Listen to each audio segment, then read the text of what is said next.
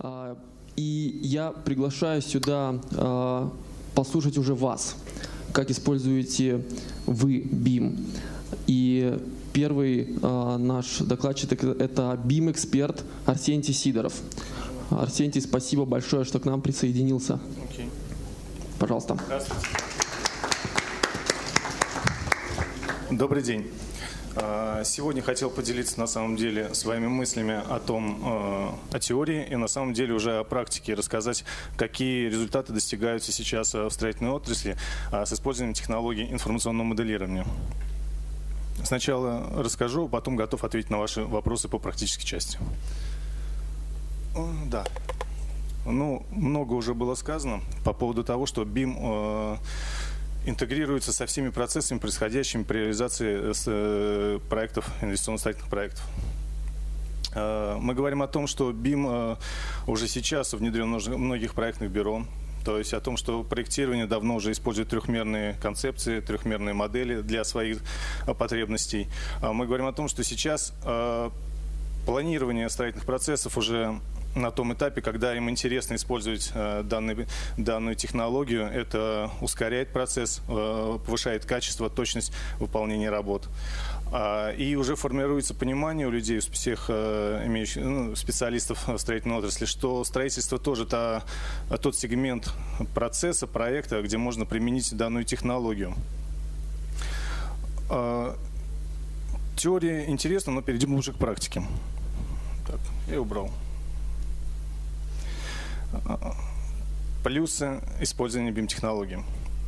А, первые два плюса, которые я обозначил здесь, это плюсы, которые получает э, инвестор, акционер любого проекта это защита его инвестиций, прозрачность проекта. А, это человек, который владеет материальными ресурсами в виде денег, инвестирует их в проект и хочет всегда видеть э, ситуацию, которая происходит на любой стадии проекта, прозрачно. А, видеть любые ошибки, отклонения от э, темпов, от сроков реализации проекта своего. Работа всех участников в онлайне. Благодаря технологии BIM все-таки мы говорим, что участники постепенно присоединяются к информационной модели, заводят туда свою информацию, но они э, находятся на острие э, получения новой информации. Они не являются людьми, которые получают недостоверную, неточную вчерашнюю информацию. Они видят информацию сегодняшнего дня и оперируют данными, актуальными для всех участников проекта. Планирование стройки, как я уже сказал, это уникальный инструмент. Э, сметчики – это то звено, которое сейчас находится ну, в каком-то каменном веке. Работают с плоскими носителями информации, это чертежи, иногда электронная версия AutoCAD, AutoRevit, э, но в основном они работают с чертежами в формате PDF. Никогда проектировщик э, не захочет отдать полностью свою интеллектуальную собственность плановикам, сметчикам в том формате, в котором он ее разрабатывал. И ну, зачастую видишь ту ситуацию, что сметчик может работать с чертежами, э, распечатанными на бумаге, с линейкой, с калькулятором, либо с, с таблицей Excel, которую сам заводит. А постепенно вводят данные ширина, высота стеночки, э, проем, если он существует, и потом это все перемножает и выводит какую-то общую смету. Пример. Э, план, не план, а возьмем просто проект офисного здания. Необходимо было пересчитать количество дверей, которые нужно заказать межкомнатных. Сам архитектор сидел, трижды пересчитывал в ручном режиме, зачеркивая их на чертежах. Но это банально и смешно. И всегда получался разный результат. Программа никогда такого не позволит дважды дать э, раздельный результат, отличный друг от другого. Удобный инструмент контроля стройки, о чем я говорю сейчас, это мониторинг. А мониторинг не с точки зрения качества выполнения работ. А мониторинг с точки зрения а, процессов, выходящих по плановому графику календарного планирования. Это мониторинг успешности и эффективности работы подрядных организаций. Наши строительные проекты сейчас настолько сложны, что на объектах э, присутствует э, много субподрядных организаций. Даже сам генподрядчик иногда зачастую не может уследить о том, находится ли он в сроках, и у него нет возможности правильно среагировать на отставание того или иного подрядчика. Это большое преимущество на этом слайде нету той информации, которая должна была быть, это эксплуатация. Задумайтесь сами, любой строительный инвестиционный проект. Стоимость этого проекта или стоимость жизненного цикла такого проекта – это порядка 30 лет, предположим. Строительство – это 40% стоимости от всего, от всех денег, которые необходимо потратить на эксплуатацию, ну, то есть на весь жизненный цикл здания. 60% стоимости, которая потребуется в жизненном цикле, это эксплуатация. Тот сегмент, куда тоже обращена BIM-модель, BIM-стандарт, BIM-технологии, BIM-подход но про нее не хочется говорить, потому что сейчас мы не готовы до конца понять те плюсы, а, увидеть те преимущества, которые мы сейчас получим сначала на первых этапах, которые а, были озвучены мною здесь ранее. Проектирование. Про проектирование можно говорить много, а, но спасибо хочется сказать Автодеску. Его продукт очень качественный, адаптирован под проектировщиков. А, он позволяет работать командно на удалении в одном а, проектном бюро. А, люди действительно получают объективную информацию по синхронизации своих частей проекта. Это, кстати говоря, программа построена таким образом, что она дает возможность дружелюбно общаться в компании. И плюс еще большой для проектных бюро это то, что отсутствует э, бумажный документооборот, а передача заданий на бумаге. Экономим деньги даже на этом. А, про проектирование хочется сказать также, что это первая боевая единица, которая начинает использовать э, этот, эту концепцию информационного моделирования. Но э, требуются большие инвестиции, с одной стороны, в программное обеспечение, потому что это все-таки, скажем так, дорогой продукт. Кстати, к надо э, задать вопрос, раз российские наши ученые разработали Revit, почему бы не сделать скидку? А, второе – это машины, э, компьютерная техника. Но проектировщики, господа, на самом деле самая большая статья расходов – это не программа, это не компьютер, это заработная плата сотрудников. Мы говорим о том, что если э, информационное моделирование войдет в ваш дом, то первый момент у вас повысится качество ваших сотрудников – количество проектов, которые вы будете выпускать в те же сроки, может быть увеличено, либо вы сократите сроки проектирования. А, на данном слайде я показал, что сроки проектирования немного снизились с точки зрения, насколько сократится технологии использования BIM, э, нельзя точно сказать, но хотел бы отметить, что меняется подход к проектированию. Мы говорим о том, что стадия П, которую мы разрабатываем для экспертизы в старом понимании, это процентов 60 времени, которое затрачивает проектировщик на разработку всего комплекта проектной документации. При информационном моделировании, при переходе на трехмерку, ваши сроки по наполнению, по созданию модели, э, а чтобы потом создать оттуда плоские чертежи для экспертизы, оно, да, удлинится. Потому что необходимо проработать узлы, продумать концепции, э, решения. Но мы говорим о том, что срок выдачи э, рабочей документации у вас сократится значительно. И происходит пересмотр двухстадийного проектирования в одностадийное. То есть практически проектировщики переходят на разработку сразу рабочей документации стадии РД. Так, опа. Это что?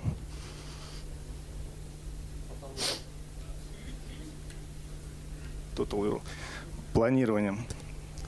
Так, интересно. Да, планирование. Извините, пожалуйста. Календарное планирование. А, на какой-то стадии технический заказчик должен получить проектную документацию, необходимо подготовить а, ПОС, подготовить календарный график реализации проекта, и начинается работа в программах, которые это, для этого приспособлены. Предположим, MS Project, Primavera, Spider, все что угодно.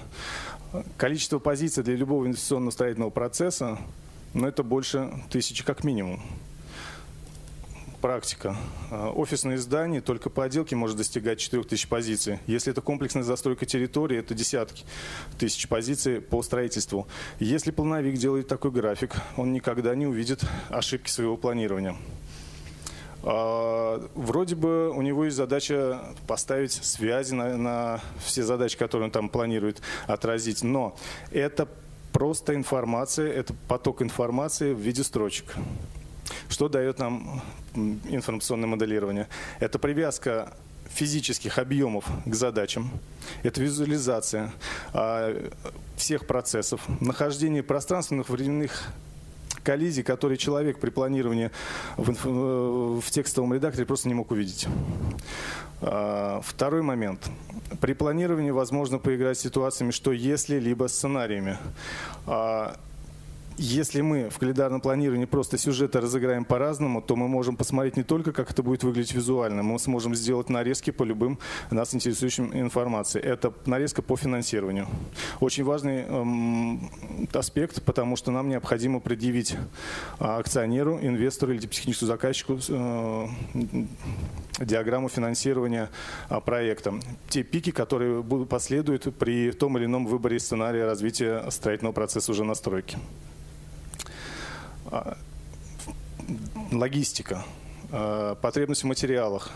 В сложных ситуациях сейчас, когда мы строим либо в, в сложно стесненных а, площадках городом, либо в удаленных от источников строительных материалов, ресурсов. Здесь необходимо качественно провести анализ логистический и для себя определиться с возможностью выполнения проекта в срок. Ну, про сметчиков я уже сказал. Э, также хотел бы сказать, что планирование – это задача еще генподрядчика. Генподрядчику также необходимо определиться э, с возможностью размещения тех или иных строительных материалов на стройплощадке. Это складские помещения. Э, в городских условиях застройки это в основном мы строим по красным линиям, где у нас просто нет возможности складировать материал под тем или иным видом работ. Иногда работаем с машины. Что касается сложных фасадных работ, это большие стеклопакеты, это витражное остекление. Если не спланировать правильно, то будет вопрос, э, где складировать э, данные стройматериалы. Бетонирование. При планировании работ э, генподрядчик также должен для себя определиться, в какой же сезон он будет строить зимой и летом. А для кого-то, может, это не объективно и не очевидно, что здесь можно получить. Мы говорим о том, что при строительстве у нас всегда имеются на стройплощадке дизель-генераторы. Соответственно, у нас стоимость одного киловатта в два раза дороже, чем если бы мы э, были бы подключены к городу. Можно просто-навсего спланировать и перенести работы на теплый период времени, сократить э, период работы в зимний период времени, сократить свои издержки по прогреву бетона. Небольшие деньги, но это миллион рублей. Таких примеров очень много. Это действительно информационное моделирование, это инструмент планирования, очень грамотный, качественный. Перейдем, да, и еще планирование, формирование инструмента уже мониторинга. Как мы забьем и как мы сформируем для себя плановую трехмерную модель, а уже лучше сказать 5D модель, это модель, снабженная временем и стоимостными характеристиками, так э, мы сможем качественно поработать на стройке. Контроль строительства или лучше сказать вообще просто э, сам процесс строительства. На строительных площадках у нас много участников подрядных организаций, генподрядчик, технический заказчик, авторский надзор. Вот эта плановая модель, которая будет создана, утверждена, это тот инструмент, с которым э, будут работать все участники этого процесса. Э, сложные проекты, офисные здания сооружения, гостиничные комплексы, инженерные системы очень сложны. А, правила строительства на данном, при наших сегодняшних реалиях это кто первый смонтировал систему, ушел с, с участка, тот и прав. Демонтаж, разборку он уже не хочет производить. Если спланировали модель качественно, грамотно, то все участники просто понимают, когда на какой участок захватку работ он должен зайти. А уже в праве технического надзора или авторского надзора сопроводить этот процесс и вовремя выявить неочередность выполнения тех или иных работ. А, далее мы говорим о том, что информационная модель сейчас э, способна э, осуществить контроль именно исполнения календарного графика. Она синхронизирует данные с объекта, который будет заносить тот или иной человек. Это может быть технадзор, это может быть авторский надзор, либо отдельный независимый оператор строительства. Сигнал поступает в автоматическом режиме э, инвестору, генподрядчику, техническому заказчику. Следующий момент. При строительстве может быть так получиться, что при серьезных э, комплексных застройках территории на объекте могут быть 10, 20, 30, 40 э, жилых э, корпусов стоять. Подрядчиков достаточно много по, тем, по тому же самому монолиту.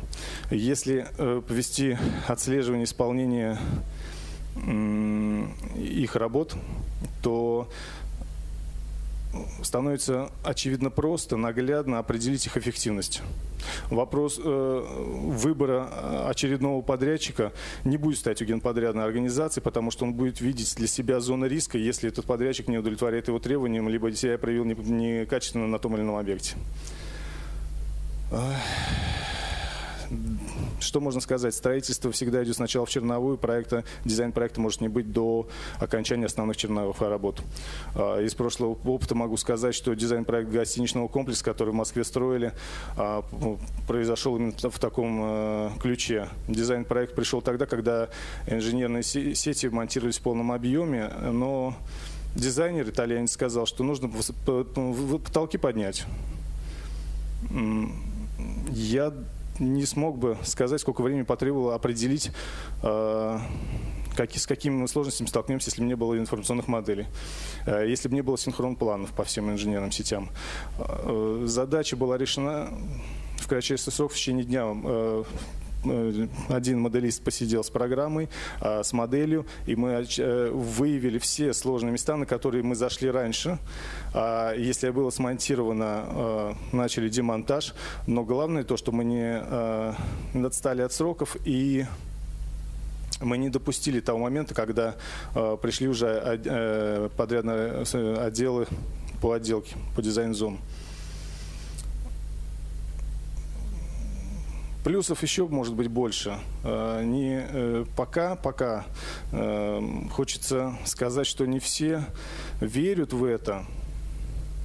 Но когда попробуют, мне кажется, отказаться уже не будет, не, не, не будет возможным. Вернусь обратно к проектированию проектировщики, проектное бюро, которые а, осваивает Revit, через два месяца сам а, архитектор а, говорит, что никогда в двухмерку не вернется. Это не агитация, это так. Меняется мировоззрение, меняется просто человек начинает по-другому смотреть на свою работу. Он творец. Если раньше он рисовал линии, либо полилинии, то здесь он начинает работать с виртуальными объектами, с виртуальными фигурами. Но это конструктор, может быть, да. Но нельзя сказать, что а, архитектор становится менее квалифицированным, он становится ребенком с конструктором в руках. Нет, он просто освобождает то время на то, чтобы лучше подумать, э, принять для себя какое-то решение по красоте того или иного объекта, по решению, которое он хочет привнести, и вот он виртуально это все видит. Кто и когда? А, есть проектные специалисты, либо руководители здесь проектных организаций. Есть руководители подрядных организаций, возможно. Все-таки кто же и где может начать BIM использовать? Да на любом этапе. А, можно начать с самого, э, с самого начала, с концепции проработки первой информационной модели на этапе э, визуализации того, что мы хотим построить. И наполнять ее, наполнять, наполнять информацией. Она будет меняться, но наполняться, она не будет теряться информация. Это так. Можно начать э, на этапе уже получения проектной документации, когда появляется генеральный подрядчик. Также могу сказать для себя очень э, ярким примером может служить то, что генподрядная организация сама формирует 3D-модель и приходит э, на заявку в тендерное участие э, с объемами, которые она посчитала по трехмерной модели. Э, технический заказчик, или, так сказать, инвестор, он для себя сразу определяет качество, уровень работы этого генерального подрядчика и принимает решение по использованию того или иного специалиста в реализации своего проекта. Практика также показала, что именно на этапе э, тендерного участия можно выиграть тендер только за счет того, что ты качественно э, рассчитаешь объемы. На, при, при, э, на этой стадии никогда э, заказчик не отдаст проектную документацию в каких-то информационных носителях, удобных для подсчета объемов. Только информационное моделирование позволяет быстро и качественно провести работу по оценке затрат. Ну и подрядчики. Подрядчики те люди, которые на самом деле э, выполняют, с одной стороны, работу, но они потребители, а им тоже хочется видеть э, полностью прозрачно те задачи, которые будут поставлены перед ним э, сверху. Им хочется оценить свои затраты. И, и у них есть желание также сэкономить э, свой бюджет и выйти с плюсом с любого проекта. Наверное, так. Да, наверное, еще вернусь назад. Скажу такую фразу. у меня свое мнение к пилотным проектам и к обучению персонала. Обучаться нужно. Обучаться нужно профессионалов. Пилотный проект сколько я разговаривал э, с проектными организациями, либо с организациями, которые хотели внедрить какую-то новую технологию, э, на пилотных проектах в основном все затухает. Нужно для себя принять решение, идти в БИМ или не идти в БИМ. Оставаться на берегу и ждать, когда получится максимальный опыт, когда будут сформированы стандарты, когда твои основные потенциальные конкуренты, которые являлись конкурентами, выйдут в лидеры, а ты останешься позади их. Поэтому, чтобы быть лидером, нужно двигаться. И двигаться вперед самостоятельно. Ну, и общаясь параллельно с теми лидерами, которые идут в этом направлении. Вот, что хотел сказать. Спасибо. Спасибо, Артентий. А, у нас есть немного времени. А, есть ли вопросы? А, я готов придать микрофон. Вопросы? Есть вопросы? Пожалуйста. Так, давайте с вас начнем. Я просто хотела спросить, а какая это гостиница была, вот, которая реализована в Москве? Гостиница Минск-Тверская. А много было сложностей вот, э, при Очень. корректировке? Почему, почему именно дизайн-проект пришел, э, когда уже монтаж производился? То есть... Э, ну, кто-то топнул ногой.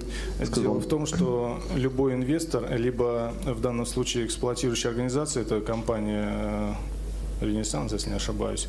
Э, ну, это, это ребенок, который всегда хочет что-то изменить, и до момента получения под ключ своего объекта он будет пытаться что-то принести новое. Архитектор, это человек, который до последнего спит и думает об этом проекте, чтобы он получился красивым. И постоянно просто живет этим проектом. Поэтому это нормальная ситуация, я считаю, для комплексных, э, для офисных зданий и сооружений. И гостиничных комплексов также. Спасибо. Спасибо.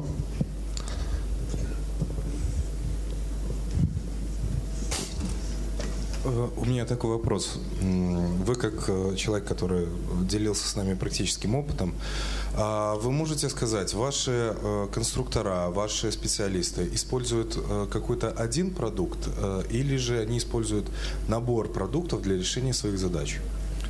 Набор продуктов. Набор.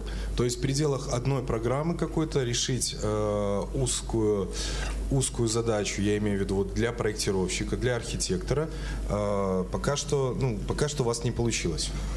То есть вы, у вас еще нет такого э, продукта? На самом деле э, задачи сломать хребты тем или иным подразделением структурных в проектных бюро не стоит. Стоит задача формирования комплексной модели на выходе э, и предоставления модели с проектом плоских чертежей. Проектировщиков не нужно переубеждать или переучивать. Они работают в тех продуктах, в которых привыкли работать. Скажем так, тот же самый MagicCAD, программа, которая позволяет провести расчет инженерных сетей. А, не, не ставилась задача перевести их на другой программный продукт и сделать полностью информационную модель в одной программе. Ясно. Хорошо, еще такой вопрос. А, вы говорили, ну, значит, на стадии проектирования, строительства, это все понятно, да, ценность BIM-технологии. Э, Какая может быть, э, ну, вот реальная выгода для эксплуатирующей организации того или иного здания при наличии ну, вы можете вот сказать да, конкретно. Могу, могу, вот, могу, могу не давайте. общими словами, могу рассказывать. А, эксплуатирующая организация – это организация, которая каждый день работает на объекте. Каждый день эксплуатирует и э, что-то ну, заменяет, устраняет дефекты. Э, может быть, при строительстве, может быть, просто в процессе эксплуатации произошла поломка. Пример первичный могу привести. Потечет подвесной потолок нужно будет первично залезть, открыть подвесной потолок, посмотреть, что течет, потом слезть с этой стремяночки, если потолки 4 метра или 5, потом пойти это туда купить, э, агрегат или еще что-то то ни было, потом прийти снова поставить стремянку, залезть, заменить. Эксплуатирующей организации дается информационная модель по исполнительной документации. Первый момент. По точке, где это потекло, он в информационной модели находит этот узел, он для себя может вынести информацию, что это марка, э, сортамент, все что угодно, агрегаты, либо там трубы. Один раз сходить на рынок, это приобрести, или в магазин, или заказать по интернету, что сейчас более современно, да, и один раз поставить стремянку, чтобы это заменить. Ошибка минимальная. Это первый эксплуатирующий момент. Далее, жилой дом. Жилой дом. Подходит время ремонта фасада. А, ремонт э, мест общественного пользования, посчитать, сколько ему нужно, или даже не так, подготовиться к тому, чтобы определ- заказать этот вид работы, либо выйти на подрядчика, или просто осметить самому, понять, сколько ему нужно денег. Первично пойти в ту комнату, где лежат бумажные чертежи, если они имеются. Сесть и как сметчику поработать э, с этими плоскими чертежами, с носителями. В программе это два клика. По свойству семейства можно определить любую характеристику геометрии. И стоимость на рынке материалов можно узнать тоже достаточно быстро. Это два момента. Третий момент, интересный тоже момент, может быть демонтаж здания, сооружения. Определить, сколько нужно будет фур заказать, чтобы вывести мусор с объекта при сломе, посчитать железобетонные конструкции, просто даже для себя прикинуть. Но я думаю, все делают на глаз первично. Хорошо. А можно еще? Правда. А в вашей организации, в которой уже внедрен стандарт работы, соответственно, обмен э, цифровой информацией, скажите, у вас е- плоттеры есть? Э, Люди печатают чертежи для себя, ну, в смысле, для работы, для организации работы? А у нас еще пока никто не отменил э, чертежи в производство работ. Нет, нет, нет, я имею в виду не чертежи выпуска, А что? нет, не чертежи выпуска, а чертежи в процессе работы. То есть вот не а, человек сидит, вот ему там вот поставили, допустим, второй монитор, а он все равно сходил, распечатал там часть чертежа архитектуры и продолжает работать. Как бы такое есть у вас на фирме? Человек еще привык по старинке работать, но плоттер не нужен для этого сейчас. Э, Человек распечатывает, может быть, в, в меньшем масштабе, чтобы просто схематично видеть Ну, всю картинку. имею- нет, У ну- меня просто был такой опыт. Старый проектировщик э, отказывался на отрез от проектирования в электронном виде. Даже плоские чертежи не любил в электронке смотреть. По, по одной простой причине. У него был кульман формата 1, он видел сразу весь двигатель, весь э, объект э, проектирования. И он говорил, что никогда монитор ему не заменит то, что он видит на, на кульмане. И поэтому человек по природе своей все равно хочет что-то распечатать руками, даже, в принципе, даже сейчас. Человеку иногда привычнее с текстовым документом поработать на бумаге. Потому что на, на- на мониторе он может не видеть тех ошибок, которые есть. Поэтому никто не отменяет это. Но экономия на бумаге однозначно и категорично, да. Есть у вас, да? Понятно. Хорошо, спасибо. Пожалуйста. Спасибо. Ну, может, последний вопрос, да, сейчас уже время подходит. Пока вопрос не задали, хочу сказать, чтобы не пугались, слово стандарт прозвучало. Стандарт классное слово. Э, Стандарт это то слово, это как закон, это свод правил, это свод критериев, требований. Мне бы хотелось говорить, что это правила, правила игры. Сначала мы говорим про правила игры между э, участниками проекта, Э, но так как сейчас в, в таких играх или в таких проектах задействуется много, лю- много организаций, то это просто уходит на уровень именно каких-то э, регламентов, именно регламентов взаимоотношений. Никогда ни один стандарт не сможет нас загнать в рамки э, жесткости. Это стандарт рекомендующий, это правила, э, которые будут понятны и очевидны. Э, потребители информационной модели будут знать первично, что он ожидает увидеть. Потому что информационная модель можно назвать, в принципе, 3D Max. Но с ней невозможно что-то сделать при строительстве. Это просто картина. А, Спасибо. Вопрос в следующем. Вот вы рассказывали про проектирование, там, про использование стандартов BIM в проектировании. Это все понятно. Этот, э, и представление о том, как э, сформировать трехмерную модель с информацией внутри нее, с, с различными атрибутами, понятно. Вот, хотелось бы услышать, и как-то это просколь- проскользнуло у вас, так, ну, мимолетом, о том, что как используют в авторском надзоре непосредственно, с какими инструментами приходится э, этот, какие инструменты приходится использовать именно в авторском надзоре специалистам. И дальше, как происходит взаимодействие теми же самыми рядными организациями с кем-то э, по этой модели. К примеру, хорошо, я понимаю, что в Revit мы создали ее, сформировали. В, Неве, в Невисе мы как-то посмотрели, у нас есть план, но это мы работаем внутри. Какой простой функционал, возможно, вы используете, чтобы... э, Но вы понимаете, что авторский надзор — это не проектирование в ревите, это упрощенное какое-то использование, где нужно не сидеть и копаться в модели, где там что а более быстро и четко найти какой-то элемент. Вот как у вас это реализовано? Э, Я не понял Спасибо. вопроса. В про- процесс авторского надзора. Мы понимаем. Ну, а авторы проекта приходят на стройку. Ну и авторы проекта, но зачастую иногда авторам проекта приходится совместно с теми, кто на стройке находится, производить авторский надзор, а иногда и передавать этот им функционал, правильно? Чтобы дальше, к примеру, эксплуатирующие ко- компании работали с этим. Нельзя попросить, к примеру, какую-то подрядную организацию или этот, купите себе ревит и используйте его. Давайте так, я, наверное, если я правильно услышал, первый момент, э, для того, чтобы, не для того, чтобы, а, мы говорим о том, что плановая модель может служить э, источником информации, инструментом для контроля исполнения работ, э, как авторского надзора, так и технического. А В данном случае мы говорим о том, что человек, который прикрепляется к строительному процессу, да, является сво- своеобразным оператором, либо контролером выполнения работ, он заносит информацию по факту исполнен- исполненных работ на объекте, фиксирует то или иное исполнение. Э, Если происходит по его видению отступление от проекта, он э, не может занести эту модель. У него задача, у человека, который мониторит стройку, заносить факт исполненных работ. Если он этого э, не видит элемента, сигнализация срабатывает. А Если мы говорим о том, что авторский надзор это также автор проекта, то все решения, которые он принимает по отступлению от проекта и заносит в журнал авторского надзора, он должен внести в модель, он должен привести это изменение, потому что мы говорим, никто не является автором проекта, кроме него самого. Он формирует, в принципе, э, исполнительную модель проекта.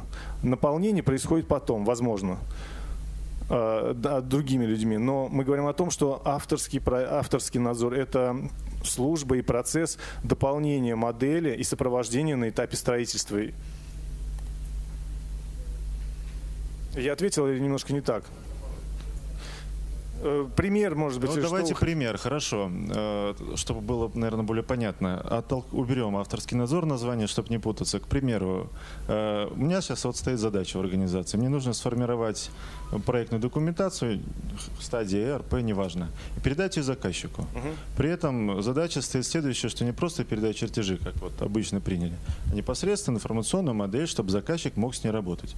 Но при этом мы понимаем прекрасно, что те з- за- этот, э, специалисты, которые есть в нашей компании, у заказчика их нету. Но при этом ему нужна оперативная работа с моделью.